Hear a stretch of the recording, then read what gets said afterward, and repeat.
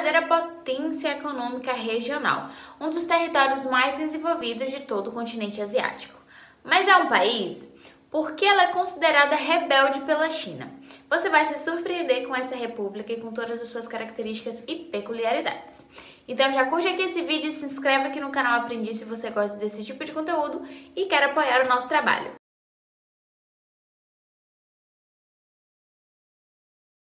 A República de Taiwan não é considerada um país, e sim uma província que faz parte da República Popular da China, embora possua uma grande autonomia política e econômica, tendo aí é, a República semipresidencialista como forma de governo.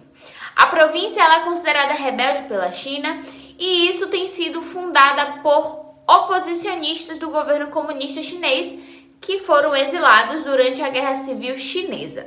E apesar de não possuir o reconhecimento pelas principais organizações internacionais, para que seja considerado um país aí em termos geopolíticos, Taiwan conta com o apoio de nações importantes, principalmente dos Estados Unidos, porém não é um membro efetivo das principais organizações internacionais. A bandeira de Taiwan possui três cores: o vermelho, que significa sobrevivência e a fraternidade, o branco, que significa democracia e igualdade, e o azul, que significa liberdade e nacionalismo.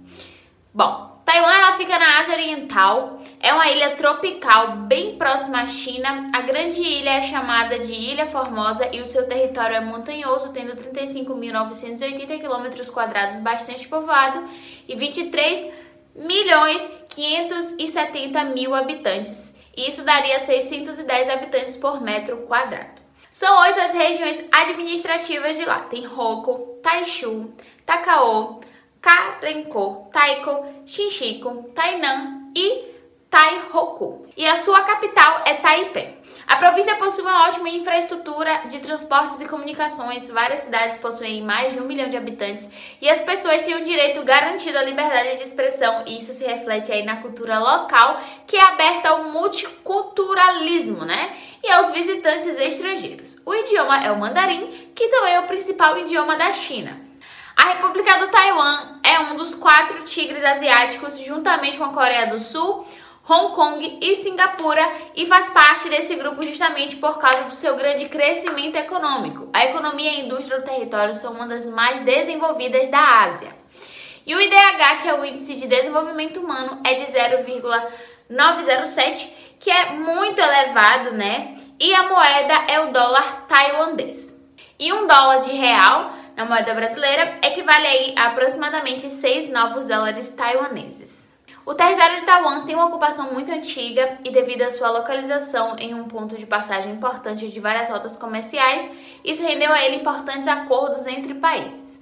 Após a Segunda Guerra Mundial, com o Japão tendo aí, é, sendo um dos derrotados, a China anexou a ilha ao seu território, que serviu durante a Guerra Civil Chinesa como refúgio para combatentes contra comunistas, simbolizando um berço da resistência chinesa em oposição ao governo comunista. Com a vitória dos comunistas, a República da China se tornou a República Popular da China. E Taiwan segue como província dependente do país, porém mantém a sua autonomia política, econômica e social.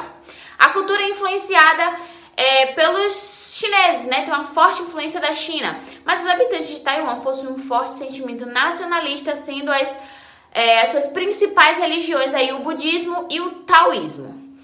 Nos esportes se destacam o beisebol e o taekwondo, e a pintura e a música regional, além das danças típicas, também são muito valorizadas, enquanto na alimentação se destaca o consumo de arroz e de frutos do mar.